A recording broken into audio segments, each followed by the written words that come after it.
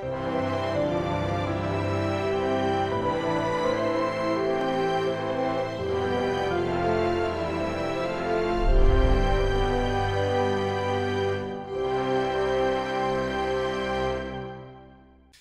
여러분 많은 결심이 있겠지만 어, 특별히 말의 변화, 언어 생활의 변화가 있기를 주님의 이름으로 축복드립니다. 매년 저는 연초가 되면 우리 교회 성도들에게 반복해서 이 언어에 대한 말에 대한 말씀을 전하고 있습니다.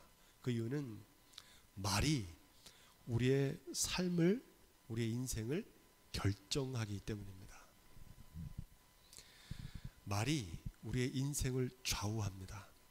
마치 거미가 거미줄을 입에서 뽑아내서 그 거미줄 속에서 살아가듯이 사람은 자신이 한 말 속에서 자신의 삶을 살아가게 됩니다. 말에서 삶이 나온다는 사실입니다. 안타깝게도 많은 사람들은 내가 하는 말이 곧 나의 삶이 된다는 사실을 모르고 살아갑니다. 신앙생활 하는 목적이 우리의 삶의 변화인데 삶의 변화 가운데 가장 큰 변화는 말의 변화입니다. 우리의 삶을 변화시키려면 반드시 먼저 말이 바뀌어야 되기 때문에 그렇습니다. 부정적인 말에서 긍정적인 말로 불평하고 원망하던 말에서 감사의 말로 저주를 쏟아내던 말에서 축복의 말로 변화되는 겁니다.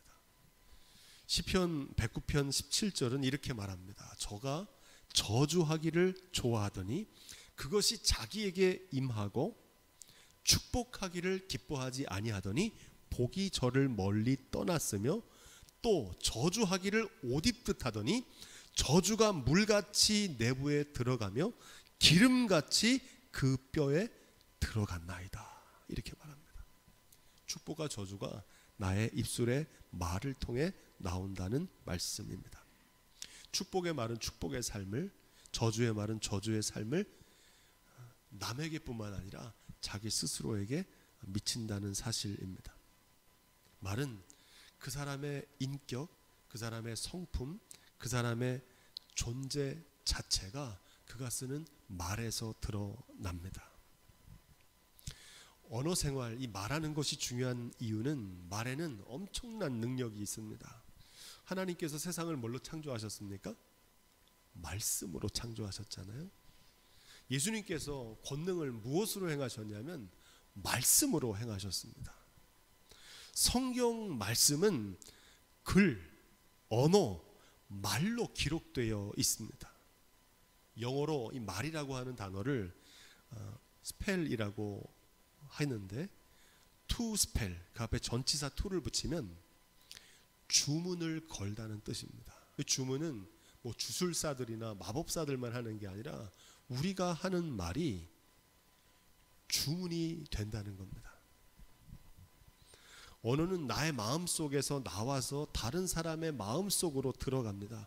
그리고 반드시 그 마음에 들어가서 삶에 영향을 미치게 됩니다. 어려운 얘기가 아니라 말이 씨가 된다는 우리 격언은 아주 성경적인 진리입니다. 여러분 잘 아시는 토끼 실험. 애정군과 스트레스군의 토끼를 나누고 똑같은 콜레스테롤이 많은 음식을 먹입니다. 그리고 나중에 애정군에게는 사랑의 말을 하고 스트레스군에게는 스트레스를 주는 말들을 합니다. 나중에 혈관을 검사해 보니까 똑같은 음식을 사료를 먹었는데 애정을 많이 받고 자란 토끼들은 혈관이 깨끗하고 스트레스를 많이 받은 토끼들은 그 혈관에 많은 콜레스테롤이 쌓여 있는 것을 어, 보게 됩니다. 이 실험은 마음이 우리의 몸에 영향을 미치고 말이 우리의 삶에 영향을 미친다는 사실을 과학적으로 입증한 실험입니다. 오늘 우리가 읽은 이 민수기 14장은 이 말의 권능을 우리에게 잘 전해주는 말씀입니다. 여호수아와 갈렙 두 사람을 제외한 20세 이상의 모든 1세대 출애굽 백성들이 하나님께서 맹세하셨던 약속의 땅에 들어가지 못하고 40년 동안 광야를 방황하게 된 이유가 무엇인지 그 원인담을 증거하는 말씀입니다. 그런 의미에서 26절, 27절 말씀 우리 다시 한번 읽어보겠습니다. 여호와께서 모세와 아론에게 일러 가라사대 나를 원망하는 이 악한 회중을 내가 어느 때까지 참으랴 이스라엘 자손이 나를 향하여 원망하는 바 그 원망하는 말을 내가 들었도다. 아멘. 출애굽 백성들이 약속의 땅에 들어가지 못한 이유는 무엇 때문입니까? 말 때문입니다. 원망의 말. 하나님은 우리의 찬송도 들으시고 기도도 들으시지만 우리의 찬송과 기도만 들으시는 게 아닙니다. 우리가 평상시 하는 원망의 말, 은밀한 가운데 내뱉은 우리의 말도 다 들으십니다. 그리고 그 말대로 이루십니다. 28절에 그들에게 이르기를 여호와의 말씀에 나의 삶을 가리켜 맹세하노라 너희 말이 내 귀에 들린 대로 내가 너희에게 행하리니 이렇게 말씀하십니다. 이 말씀은 그대로 이루어졌습니다. 광야에서 그들이 다 죽게 될 것이라고 원망했더니 그 말이 자신들의 삶 속에서 이루어진 겁니다. 이 말은 성경에만 이루어지는 게 아니라 오늘 우리의 삶에도 그대로 적용됩니다. 우리가 하는 말을 주님께서 들으시고 그대로 이루십니다. 그래서 말대로 되는 교회, 말대로 되는 가정입니다. 우리가 말한 대로 이루실 겁니다. 자기 자신뿐만 아니라 주위 사람들에게도 그 말이 영향을 미치게 됩니다. 소자 하나를 실족시키면 연자 맷돌을 메고 물에 들어가는 게 낫다 이렇게 말씀하실 정도로 실족을 뭘로 시키냐면 말로 실족시킵니다. 사랑하는 가족과 자녀들, 공동체의 운명까지도 우리의 말대로 되는 겁니다. 말은 이처럼 무섭고 능력 있는 것입니다. 말대로 된다는 사실을 통해서 이 언어의 중요성을 깨닫게 되는데 어, 문제는 이 언어가 말이 오랜 세월 습관처럼 굳어진 것이기 때문에 잘 바뀌지가 않습니다. 마치 한국말 하는 사람이 영어를 배우려면 쉽게 안, 입이 안 열리는 것과 마찬가지입니다. 연약하고 완악하기 때문에 만성 질환처럼 말이 안 바뀝니다. 그래서 성령께서 도와주시지 않으면 잘 고쳐지지 않습니다. 야고보 사도는 그래서 뭐라고 말하냐면 혀는 능히 길들일 자가 없도다 이렇게 말합니다. 이 말은 길들여지지 않는다는 거예요. 내가 의지적으로 이렇게 말을 바꿔야지 이런 말을 하면 안 되지 이렇게 생각한다고 해서 잘 바뀌지 않는다는 겁니다. 하지만 야고보 사도는 이렇게 말합니다. 죽고 사는 것이 혀의 권세에 달렸나니. 저는 이 말씀을 이렇게 번역합니다. 그럼에도 불구하고 죽기 아니면 살기로 말의 변화를 위해 힘쓰라는 말입니다. 죽기 살기로. 왜냐하면 말로 인해서 살기도 하고 죽기도 하기 때문에. 저는 제가 지난 20년 동안 목회하면서 이 말씀을 절실하게 느꼈습니다. 오죽하면 제가 매년 이 말씀을 아, 말에 대한 말씀을 전하겠습니까? 저도 이 말씀을 대할 때마다 어, 바뀌지 않는 저의 언어 생활과 언어 습관에 대해서 어, 안타까워하면서 그럼에도 불구하고 이 말에 변화되기 위해서 죽기 살기로 힘쓸 것을 다짐합니다. 우리의 언어 습관을 바꾸는 가장 좋은 언어의 훈련 방법은 무엇일까요? 영어를 잘하려면 좋은 문장을 많이 읽고 쓰고 듣고 말해봐야 됩니다. 영어를 잘한다는 것은 말을 잘하는 것이 아니고 고급 어휘와 좋은 문장, 좋은 단어를 사용하는 어휘력을 가진 사람이 영어를 잘하는 사람입니다. 우리가 말을 잘한다는 것은 우리의 말을 변화시키는 것은 바로 좋은 말, 좋은 말씀을 듣고 읽고 사용하는 겁니다. 가장 좋은 말은 하나님의 말씀인 줄로 믿습니다. 말씀을 듣고 말씀을 읽고 말씀을 지켜서 말씀대로 준행하면 그 말씀이 나의 마음과 생각을 사로잡고 내 입술을 주장합니다. 더디지만 반드시 우리의 말을 변화시켜 주시는 줄로 믿습니다. 우리의 말을 바꾸는 가장 좋은 방법은 기도입니다. 기도는 뭘로 합니까? 말로 하잖아요. 하나님의 말씀을 붙잡고 기도하는 것은 우리의 말을 바꾸는 가장 강력한 도구입니다. 여러분 생각해 보십시오. 기도할 때 아무리 완악한 사람도 나쁜 말 하는 사람 없습니다. 기도할 때 원망하는 사람 보셨습니까? 기도할 때 부정적인 말하는 사람 없습니다. 그래서 많이 기도하고 바르게 기도하면 우리의 말이 변화될 줄로 믿습니다. 또 하나 우리 말을 바꾸는 좋은 습관은 찬양입니다. 찬양은 율조 있는 기도이고 찬송의 가사는 가락 있는 하나님의 말씀이기 때문입니다. 어린 시절에 불렀던 광고 음악 CF 송이라 그러잖아요. 그게 가끔 문득 떠오를 때가 있어요. 나도 모르게 무심코 내 입으로 그 노래가 나올 때가 있습니다. 왜 그렇습니까? 자주 반복적으로 들었기 때문에 그렇습니다. 그것처럼 우리가 찬양을 많이 듣고 찬송을 자주 부르시기를 주님으로 부탁을 드립니다. 그럼 놀라운 일이 생깁니다. 우리의 말이 고상하고 아름답게 변화될 줄로 믿습니다.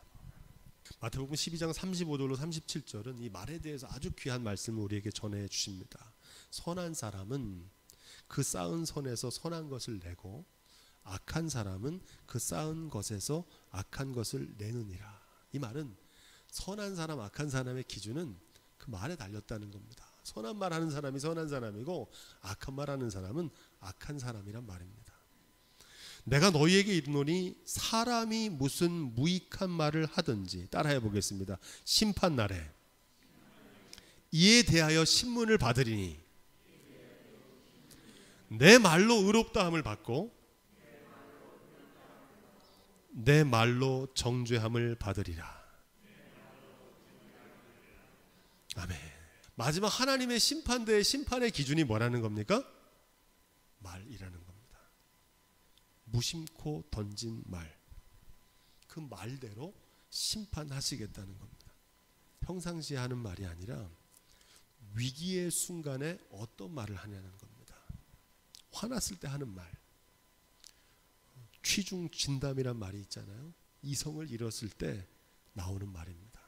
급할 때, 고난을 만날 때, 재난을 당할 때, 위기의 순간에 무심코 던지는 말 속에 우리의 본심이 담겨 있기 때문에 그렇습니다. 하나님은 우리의 외모가 아니라 중심을 심판하신다고 그러는데 그 중심이 언제 나옵니까? 위기의 순간에 말로 나옵니다. 그래서 우리의 신앙생활은 우리의 중심을 하나님 앞에서 반듯하게 세워 나가는 데 있는 줄로 믿습니다. 신앙생활은 우리의 말이 변화되는 겁니다. 로마서 10장 10절에 사도 바울은 이렇게 말합니다. 사람이 마음으로 믿어 의에 이르고 따라해 볼까요? 입술로 시인하여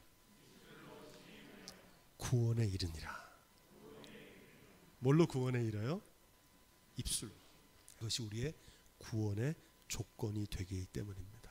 말이 인생을 결정 짓는다는 사실을 알지만 실천하기가 어렵습니다. 그래서 성경은 차라리 말을 줄이는 침묵을 권합니다. 말을 잘 못할 것 같으면 안 하는 게 낫습니다. 시편 141편 3편은 여호와여 내 입 앞에 파수꾼을 세우시고 내 입술의 문을 지키소서 이렇게 말합니다. 좋은 말할 선한 말할 자신 없으면 차라리 침묵하십시오. 그게 더 낫습니다. 잠언서 10장 9절은 이렇게 말합니다. 말이 많으면 허물을 면키 어려우나 그 입술을 제어하는 자는 지혜가 있느니라. 말을 많이 하는 게 좋은 게 아닙니다. 말을 줄여야 됩니다. 그것이 지혜입니다. 잠언서 17장 27절로 28절은 이렇게 말합니다. 말을 아끼는 자는 지식이 있고 성품이 안전한 자는 명철하니라. 미련한 자라도 잠잠하면 지혜로운 자로 여기우고 그 입술을 닫으면 슬기로운 자로 여기우느니라. 말이 잘 안 바뀌면 이것만이라도 실천하십시오. 말수를 줄이십시오. 그것도 지혜입니다. 특별히 교회에서 가정에서 위기의 순간 좋은 말, 믿음의 말 할 자신이 없으면 차라리 말을 하지 마십시오. 누군가가 무심코 던지는 그런 말을 들을 때가 있거든요. 그러면 피하십시오. 그리고 기도하십시오. 주님, 저 말이 내 귀에 들어왔는데 저 말에 영향을 받지 않게 해주십시오. 부정적인 말이나 남의 험담을 하는 말, 함부로 말하는 분과는 가까이 하지 않는 게 좋습니다. 가능하면 그렇게 노력하십시오. 그런 말을 들으면 전염됩니다. 그 말과 가까이 하지 않는 것도 지혜입니다. 에베소서에서 사도 바울은 너희는 유혹의 욕심을 따라 썩어져가는 구습을 쫓는 옛사람을 벗어버리고 새 사람을 입으라. 새로운 삶의 조건으로 뭘 얘기하느냐? 말의 변화를 말합니다. 새로운 삶을 원한다면 말을 바꿔야 된다는 겁니다. 그러면서 오늘 말씀의 에베소서 4장 29절이 이렇게 이어집니다. 무릇 더러운 말은 내 입 밖에도 내지 말고 오직 덕을 세우는데 소용되는 대로 선한 말을 하여 듣는 자들에게 은혜를 끼치게 하라. 2022년 한 해 이것 한 가지만 실천해도 충분합니다. 하나님, 더러운 말 입 밖에도 내지 말게 하시고 덕을 세우는데 소용되는 대로 선한 말을 해서 내 말을 듣는 사람에게 은혜를 끼치게 해 주십시오. 이게 여러분들의 기도가 될 수 있기를 부탁을 드립니다. 메시지 성경은 이 대목을 이렇게 번역합니다. 여러분의 말하는 습관을 살피십시오. 여러분의 입에서 불쾌하고 더러운 말이 나오지 않게 하십시오. 도움이 되는 말을 하고 여러분의 말 한마디 한마디가 선물이 되게 하십시오. 여러분 선물 같은 말 혹시 들어보신 적 있습니까? 아주 오래 전인데 새벽 기도에 나오시던 한 교우부터 지금은 이사를 가셔가지고 못 뵌 지가 오래됐는데 오래 전입니다. 어, 대구로 이사 가신 분인데 어, 저는 그분이 저에게 준 쪽지 하나 새벽 기도에 내리시면서 쪽지 하나를 전해주셨는데 오랜 목회 여정에서 어려운 순간이 있을 때마다 방향을 잃지 않도록 붙잡아준 귀한 선물 같은 말입니다. 사랑하는 목사님, 평생 가슴에 새길 조언으로 가득한 말씀, 누구든지 바로 적용할 수 있는 귀한 말씀, 성도들의 상처를 치유하는 보석 같은 말씀, 물질의 도움보다 천배의 가치가 있는 지혜로 가득한 말씀, 삶의 현장에서 꼭 필요한 말씀, 하나님께서 주신 권세를 잘 활용하여 눈부신 능력을 발휘하도록 간절히 기도합니다. 제가 이런 편지를 받은 어, 적이 있습니다. 지금도 잊지 않습니다. 또 어떤 말은 목회를 그만둘 정도로 심각한 절망과 아픔을 줬던 말도 있습니다. 그 말은 제가 차마 여기서 못하겠습니다. 저는 이 선물 같은 말대로 되기를 기도하고 지금도 그 말대로 하기 위해 애쓰고 있습니다. 이런 복된 말을 하는 목사가 되기를 기도합니다. 여러분도 누군가에게 이런 말을 듣고 또 이런 말을 할 수 있는 복된 입술들이 다 되시기를 주님으로 부탁을 드립니다. 30절입니다. 하나님의 성령을 근심하지 말라는 말은 앞에 나오는 29절에서 이어지는 말씀입니다. 우리의 말이 하나님의 성령을 근심하게 한다는 겁니다. 우리가 하는 말이 그 상대방만 듣는 게 아니고 하나님도 그 말을 들으시기 때문에 그 말을 듣고 하나님이 근심하신다는 겁니다. 성령이 근심하신다는 거예요. 모든 죄는 용서받지만 말로 성령을 거역한 죄는 이 세상에서나 저 세상에서나 용서받지 못한다고 말씀하십니다. 그 역도 성립하는데 우리 말로 하나님의 성령을 기쁘시게 해드릴 수 있는 줄로 믿습니다. 말로 하는 겁니다. 메시지 성경은 이 대목을 이렇게 번역합니다. 하나님을 슬프게 하지 마십시오. 그분의 마음을 아프게 하지 마십시오. 우리가 하는 말이 하나님을 슬프게 하고 우리가 하는 말이 주님을 아프게 한다는 겁니다. 더 중요한 건 우리의 말이 하나님만 슬프게 하고 주님만 아프게 하는 것이 아니라 그 말을 듣고 있는 부모님의 마음을 슬프게 하고 우리의 자녀들의 마음을 아프게 한다는 겁니다. 이걸 많은 사람들이 모르고 살아갑니다. 모국어를 영어로 마도통이라고 합니다. 엄마의 혀, 엄마의 말, 엄마의 언어란 뜻입니다. 이 모국어거든요.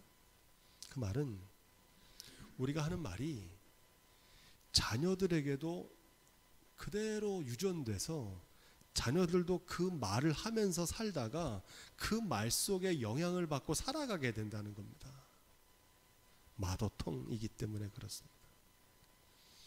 그래서 많은 사람들이 태교에는 굉장히 힘을 써요. 태교할 때는 좋은 말 하고 뭐 이쁜 거 먹고 나쁜 말 하지 말라고 그러고 태교는 그렇게 하는데 정작 애가 태어나서 자랄 때 일곱 살 이전에 그 언어 생활이 그의 평생의 삶을 좌우하거든요. 어떤 말 듣고 자랐는지가 평생을 좌우합니다. 청소년 시기에 성장기에 부모로부터 들은 말이 그 아이의 자존감을 형성합니다. 태교는 잘하는데 아이들이 잘하는 가운데 무심코 던지는 말이 하나님만 근심하게 하는 게 아니라 자녀들의 마음을 아프게 하고 근심하게 한다는 사실을 꼭 기억하시기를 주님의 부탁을 드립니다. 에베소서 4장 31절로 32절 말씀 마지막 절 말씀 읽고 마치겠습니다. 우리 함께 봉독하겠습니다. 시작.